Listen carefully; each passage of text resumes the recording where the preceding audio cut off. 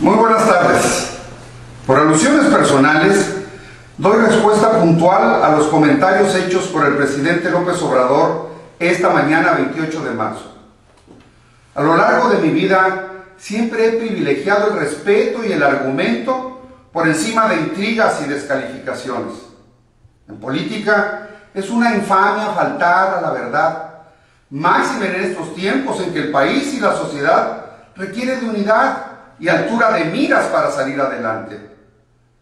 Cuando se vive atado a prejuicios y la realidad muestra otras evidencias, a veces duras de aceptar, entre la demagogia y la verdad, existen políticos que recurren a la mentira y a distractores efectistas para ocultar las cosas y tratar de engañarnos. Por eso, basta ya de mentiras. Me invitaron al baile y son imprecisos. Por eso respondo con la verdad. La energía eólica es la fuente de energía más limpia y amigable con el medio ambiente. Por eso países enteros como Alemania, Dinamarca, España, cuyo gobierno se dice socialista, han apostado por ella y han eliminado el uso de carbón y del petróleo que son altamente contaminantes.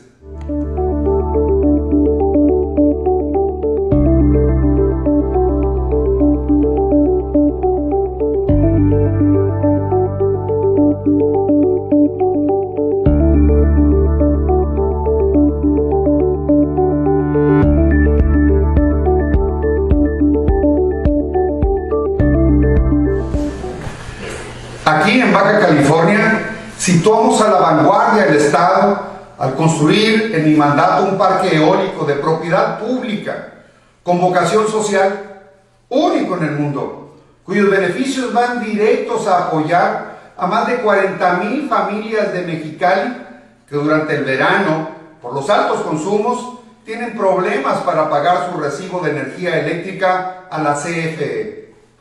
Quizá alguien verdaderamente tonto no entienda esto, pero las madres solteras trabajadoras de Mexicali lo entienden a la perfección.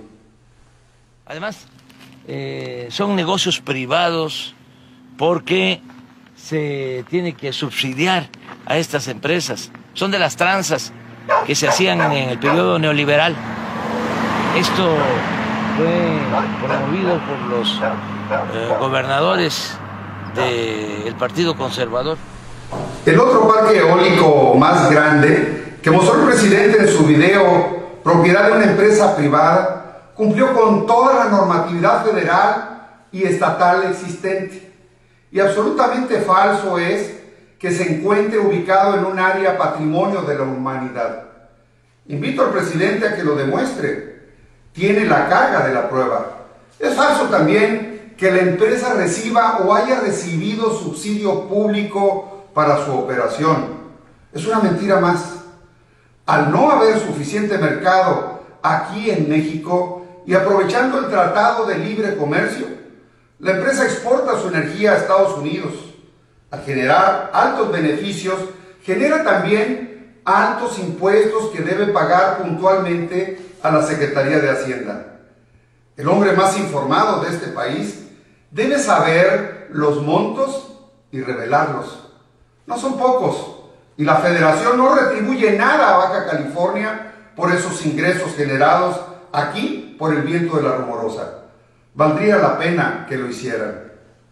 Por cierto, en otros estados hay muchos parques de energía eólica instalados desde hace ya muchos años y no ha recibido ninguna crítica alguna del presidente. No nos toca ni con el pétalo de una rosa, dijera él mismo. No entiendo la obsesión de cuestionar y desvirtuar las cosas bien hechas en Baja California. Basta ya de mentiras. No hay peor ciego que el que no quiere ver. El país necesita resultados, no distractores. Cuando se mezcla la distorsión de la realidad y la mentira, es aberrante. La ciudadanía exige resultados, hechos, no palabras. Basta ya de mentiras. Postdata.